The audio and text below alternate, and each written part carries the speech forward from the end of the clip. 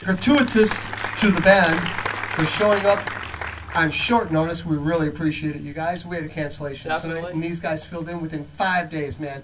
That's what's called trying to make something of yourself, all right? Once again, ladies and gentlemen, sick